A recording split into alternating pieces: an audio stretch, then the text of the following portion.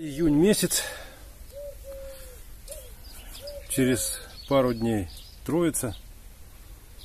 Время заготавливать веники для бани.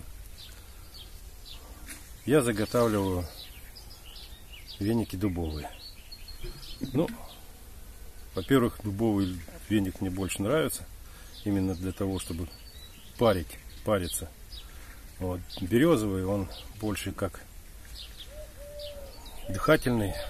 Используется для того, чтобы через него дышать парной. Но у меня нет поблизости берез. Особенности климатического пояса. Береза у нас здесь не растет, а дуб, дуб в изобилии. Поэтому я заготавливаю дубовые веники. Он мне нравится и в плане им хорошо работать, удобно. Он создает э, хороший, хорошее движение воздуха в парной. И в то же время приятно. Широкий лист, объемный веник. Приятное ощущение во время парения для тела. Поэтому я использую то, что у меня есть поблизости под рукой. Именно дубовый, дубовый лист, дубовую ветку. Вот и с утра сегодня я нарезал дубовых веток. И сейчас приступлю к вязке веников. Приступим. Так, вот мы нарезали веников. Будем вязать вот таким шпагатом. Вот. Хороший. Так как я вяжу веник не на продажу, а для себя, буду его вязать с хорошими ручками, с качественными. Ну что, начинаем подбирать. Сначала берем длинные, длинные веточки. Из них формируем основу веника. Вот так вот. Берем основу, формируем. Стараемся брать такие подлиннее. Вот так вот.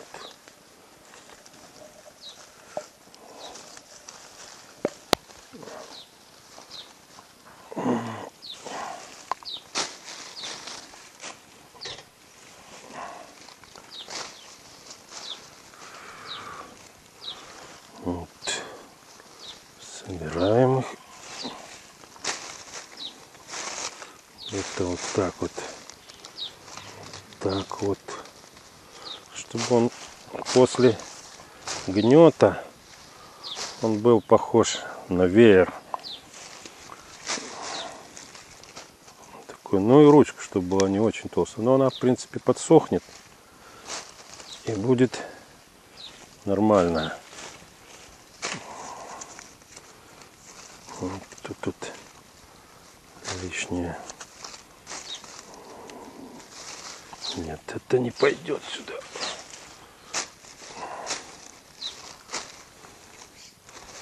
Нет, вот так вот.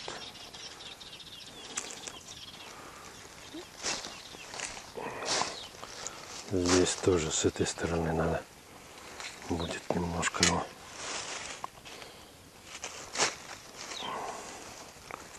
так прижать.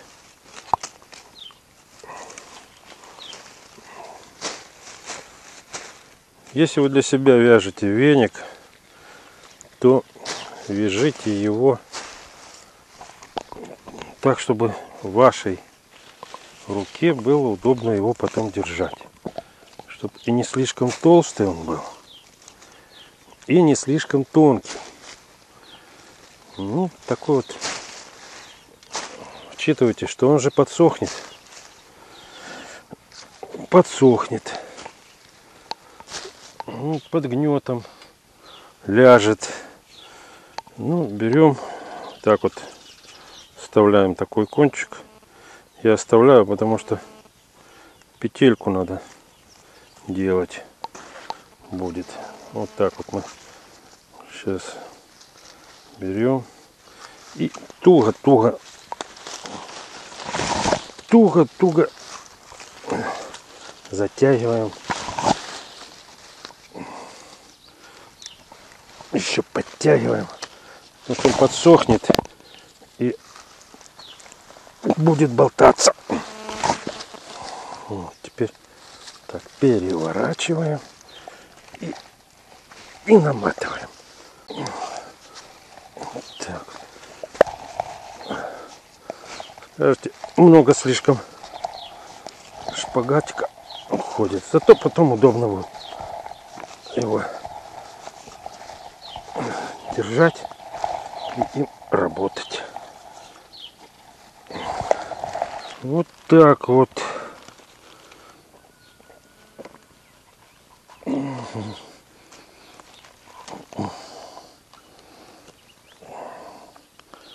Завязываем.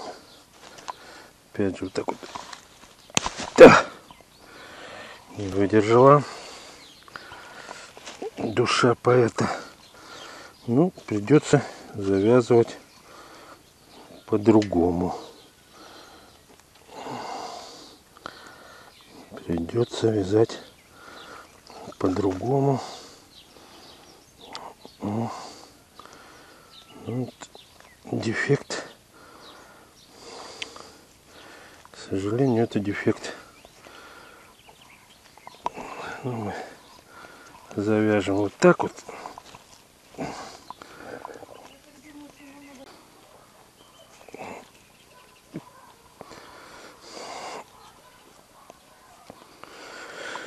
Вот так вот мы еще вяжем.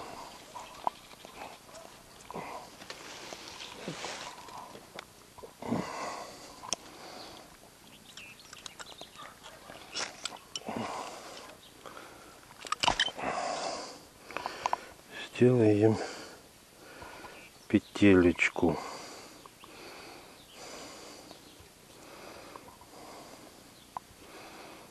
чтобы вешать можно было веник на гвоздик.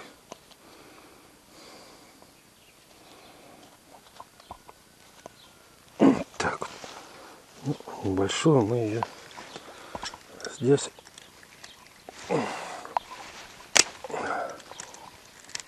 подравниваем. Вот так вот. Вот так вот подгнет этот веник и будет очень даже неплохо. Так, это будем складывать вот тут. Приступаем к следующему.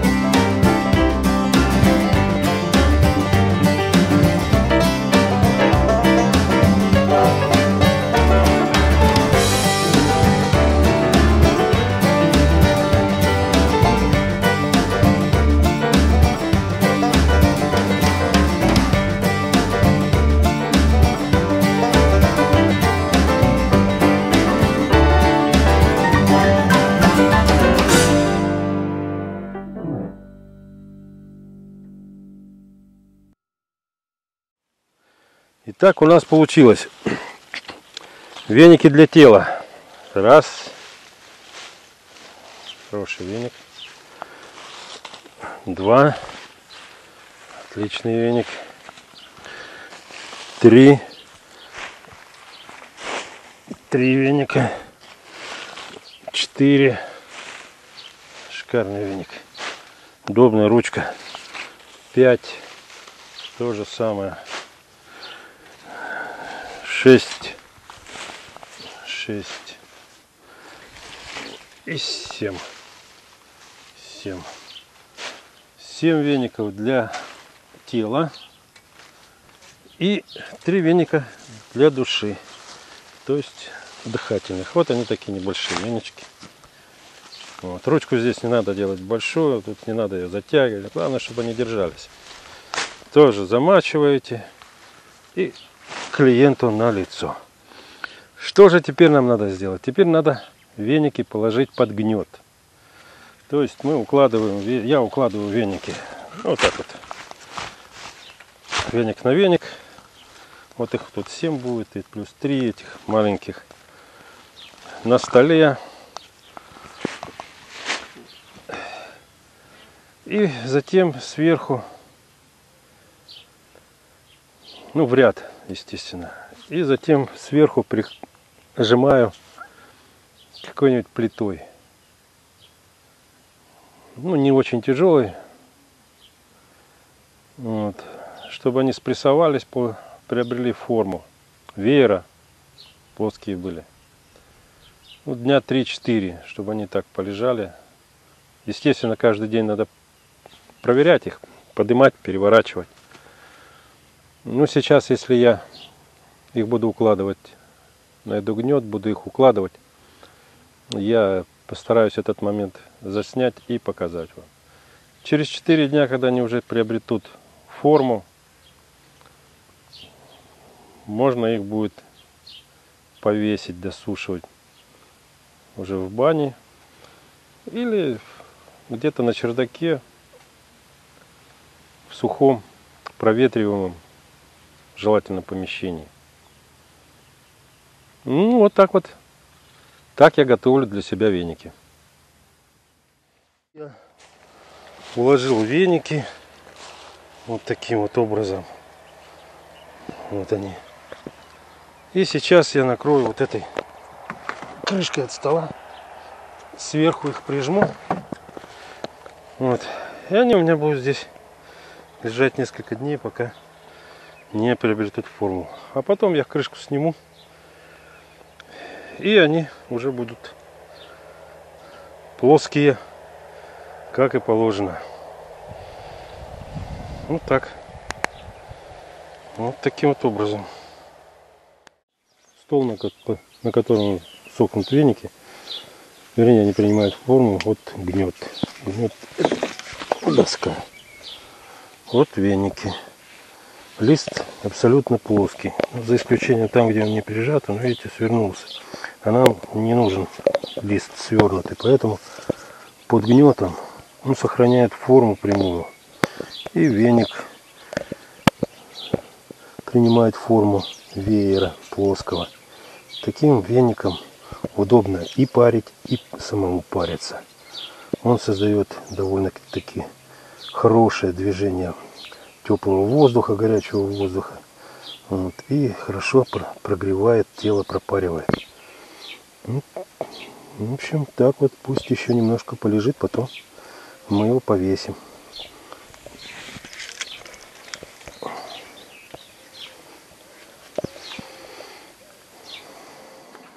Веники займут свое место вот на этих гвоздиках. Вот где освободилось, там они и повиснут. И будут ждать своего момента использования. Это веники и прошлогодние, и даже есть позапрошлогодние. Ну, используются по мере необходимости и по зависимости от уровня качества наиболее качественные уже, можно сказать, использованы. Ну, есть еще отдельные экземпляры, которые будут использоваться с удовольствием, скажем так, хорошие. Вот веник неплохой, вот тут веники у нас в углу. И этот веник, и этот только надо ручку доделать, переделать. Так что вот здесь все и маленькие, это маленькие вот веники. Под ними побольше, большие. Значит, это вот вообще из темный, это из молодого листа. Вот. Так что здесь есть веники, которые резались и в начале лета, и в конце лета. В общем, подсохнут те, мы сюда их повесим.